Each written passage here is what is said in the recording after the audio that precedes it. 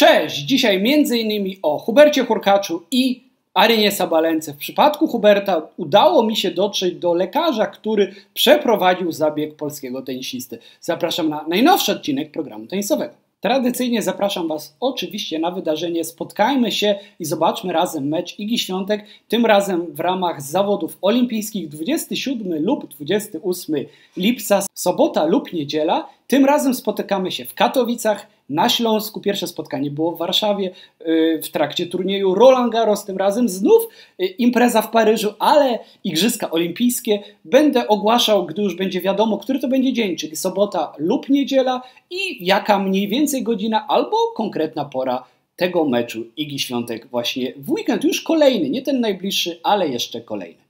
Sporo ostatnio na kanale Program Tenisowy jest materiałów poświęconych Hubertowi Hurkaczowi, ale nie może być inaczej, bo Polak walczy z czasem, żeby zdążyć na Igrzyska Olimpijskie, które rozpoczynają się już w przyszły piątek, 26 lipca. Tak, to już jest przyszły piątek.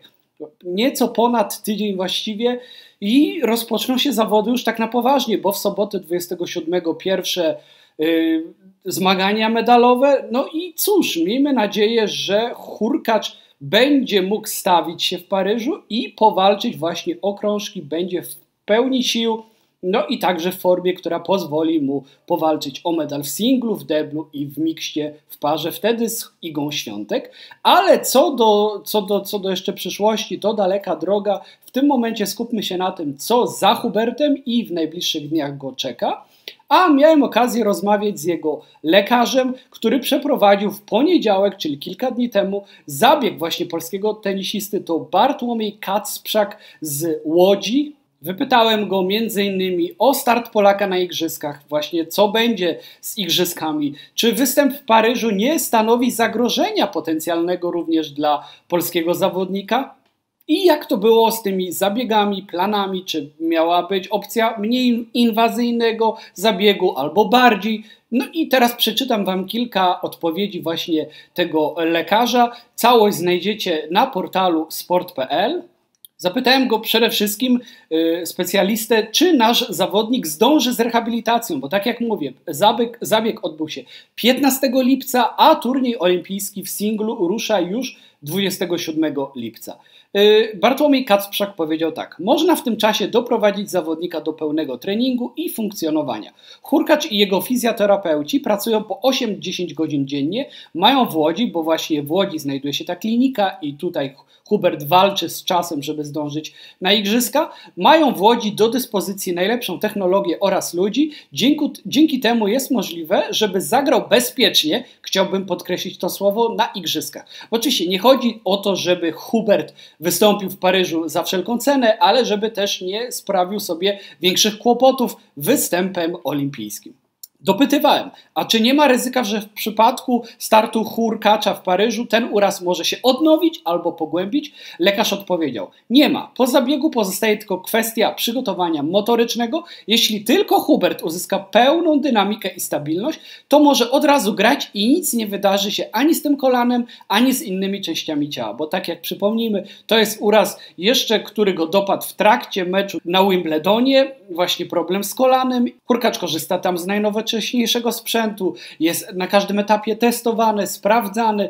Zresztą było widać, jak wrzucił e, wpis na mediach społecznościowych właśnie, że korzysta z różnych e, sprzętów, z, różnej, e, z różnorakiej technologii i może być badany i, i, i sprawdzane są wszystkie jego parametry. Dopytywałem również właśnie o to rozwiązanie, które pojawiło się w mediach, czyli dwa warianty. Mniej inwazyjny zabieg, który pozwoliłby Hurkaczowi wystąpić w Paryżu i bardziej inwazyjny, który wykluczałby jego start. Jak to było? No i właśnie lekarz powiedział mi, że to nie było do końca tak. Po pierwsze, trzeba pamiętać, że mamy do czynienia ze sportowcem, który musi być dyspozycyjny przez co najmniej 10 kolejnych lat i tak będzie eksploatował swoje ciało. Następnie zdecydował się na minimalną ingerencję w ciało, by w maksymalnie krótkim czasie bezpiecznie wrócić do gry. Na końcu dbamy o to, by ta noga i całe ciało po zakończeniu kariery działały mu do końca życia. Nie ma podziału na zabieg mniej lub bardziej inwazyjny. Każda ingerencja w nasz organizm jest zawsze czymś, czego nie powinniśmy robić,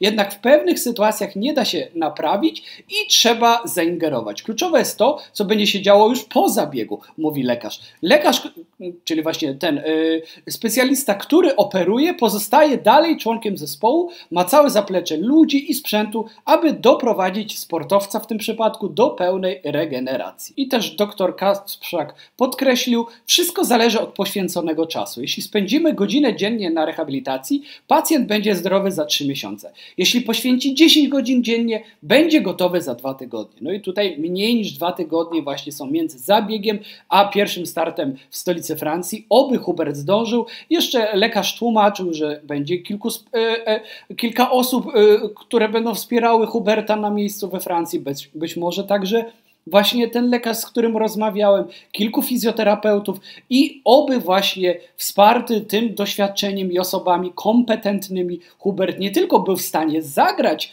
w turnieju olimpijskim, ale również pokazać je z jak najlepszej strony. Powiem szczerze, że po tym wywiadzie jestem trochę spokojniejszy, też jeszcze nie do końca absolutnie, bo jeśli Hubert zagra w Paryżu i wszystko będzie dobrze, to dopiero wtedy będzie można powiedzieć uff, ale mimo wszystko widać, że trafił w ręce eksperta i miejmy nadzieję, że po prostu organizm pozwoli polskiemu zawodnikowi wystąpić i to z sukcesem na nadchodzących igrzyskach. Teraz słów kilka na temat Aryny Sabalenki, która ogłosiła w mediach społecznościowych w trakcie Q&A, czyli takiej sesji pytań i odpowiedzi, gdy rozmawiała z widzami, y, na Instagramie powiedziała tak, wszystko idzie świetnie, jeśli chodzi o problem z barkiem, jaki miała ostatni.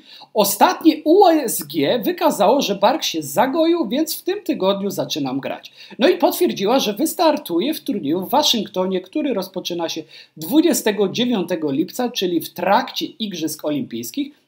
No i cóż, z jednej strony nie byłem jakoś specjalnie zdziwiony, że arena jednak wróci szybciej czy później do zdrowia i też to ta jakby argument, że właśnie z powodów zdrowotnych ona nie startuje w zawodach olimpijskich od początku wydawał mi się taki niepełny, bo zdrowie zdrowiem, ale z drugiej strony wiemy, że po prostu arena no, nie czuła się chyba w pełni przygotowana, żeby rywalizować o medale.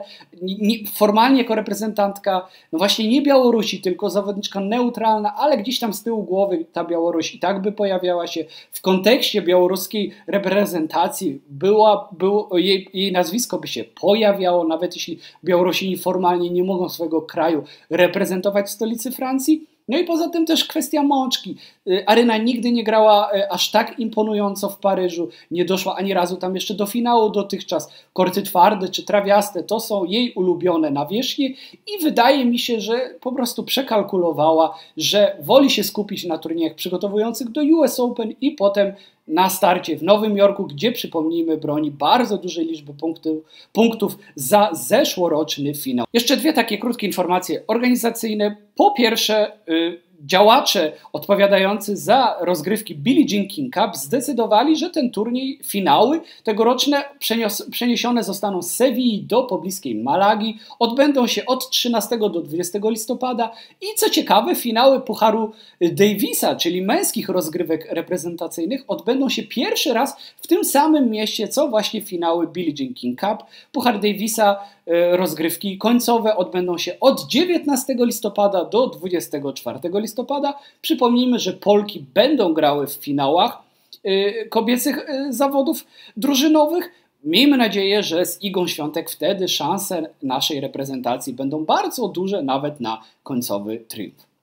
Wiemy już coraz więcej także na temat rozgrywek Lever Cup, Y, tych Europa kontra reszta świata, które odbędą się we wrześniu, przypomnijmy w dniach 20-22 września w Berlinie. Tym razem rozgrywki będą właśnie w Europie, wcześniej były za oceanem. No i cóż, niestety Huberta y, Hurkacza zabraknie tym razem w składzie y, zespołu europejskiego rok temu. Miał okazję występować i wie, wiemy już o tym, kto dokładnie wystąpi po stronie Europy. To będzie Carlos Alcaraz, Aleksander Zwieriew, Daniel Miedwiediew, Rafael Nadal, być może to będzie jego ostatni turniej w karierze, kto wie, Kasper Rudd i Stefanos Tsitsipas.